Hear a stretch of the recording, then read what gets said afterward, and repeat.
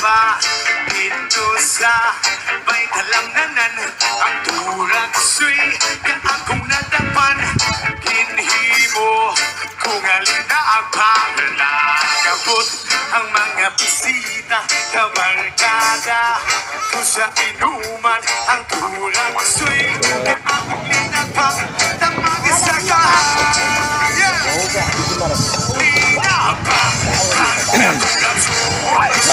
Ba?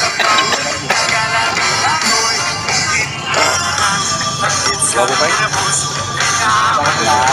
Yun no. South, south. Dito kami sa fishing port complex ng Iloilo. Quiet. May dikto eh pro kung dikto ka mabal ka na eh ano to. Ang binanyera, yata na kung talipapa tanan niya. Yo, yo, yo! Andito na naman kami sa Iloilo Fishport Complex. Dahil nauuso dito ngayon at swak sa mga tao yung paluto. Yung bibili ka lang ng fresh na isda na makikita mo dito sa talipapa ng Iloilo Fishport Complex tapos papaluto nyo doon mismo or dyan mismo sa lugar na yan. O ayan o mga fresh galing sa Ocean Deep. Oh, Ocean Deep. I'm so afraid to show my feelings. Kanta pala yan. Pero tama nga. Kaya samahan nyo na kami at mamimili tayo ng mga sari-saring isda at saka papaluto natin. Tara, let's go!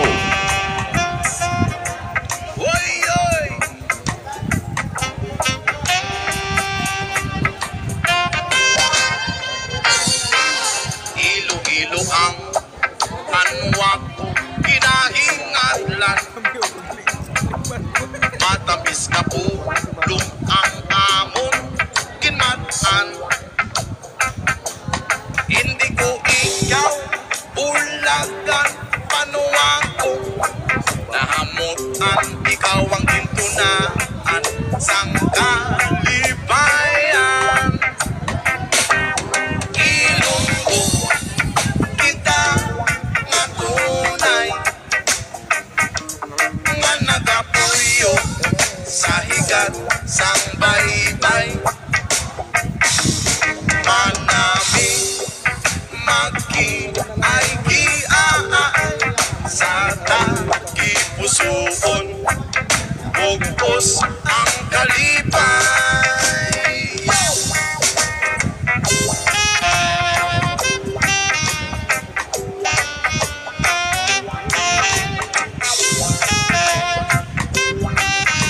Ang isda no? Gingaw. Gingaw. Sabawan. Kaya sugba ng ano? Low cost. Siguro. Ah, sugba. May ano ko no? Sa guro ko ka doon lang. So, adobo ng isang Ang mga subawan. Tapos sarap ito. kaprito. No? Ang mga gingaw eh sabawan eh. Pero Ano ang sugba na? Ay, ko ang uh, gingaw eh sabawan eh. Pero ang nanonib lang, ano na kanina. Bihod. Hindi ang supply. Manindot lang sa may ano. Tapos prituhan ng uh, Oh, pero prituhan yan, yung buli ang ikog ng ano, ang tuna. Pero ang supply, yung manindot lang sa sabawan. Ah.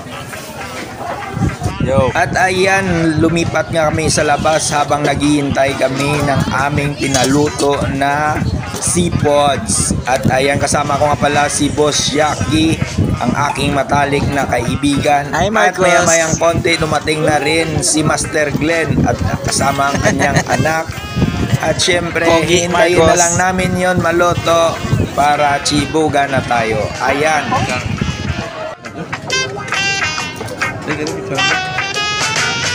Let's go na!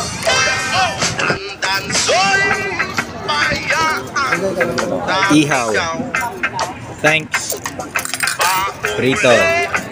Ihaw. Sa payaw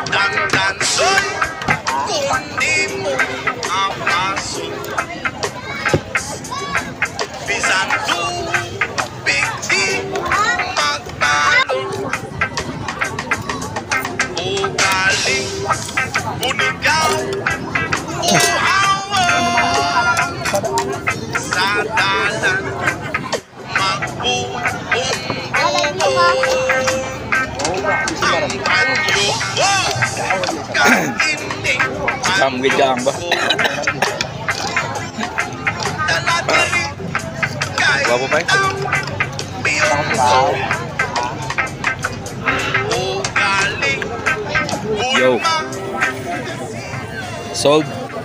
Grabe yung pawis, tagakdak. Ayan no. Ito yung parang dinaanan ng ano, bagyo. Sabaw. Sinigang. Dami pa. Ihaw na ba? Lokos. Lokos. Manami ang maki ay iay sa dagi pusoon